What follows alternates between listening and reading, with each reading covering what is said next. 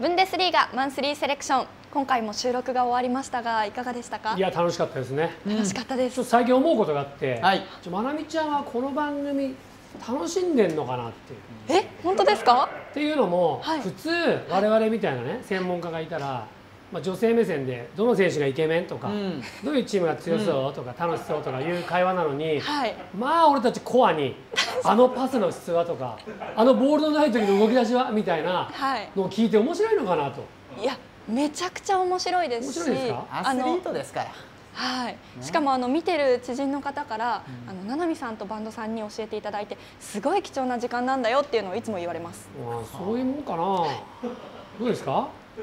ドゥーンって感じですね まあクイズ出しましたからそうですね。ははいい、ということでブンデスリーガマンスリーセレクションは3月27日土曜日夜10時から BS 日テレにて放送です。ぜひご覧ください。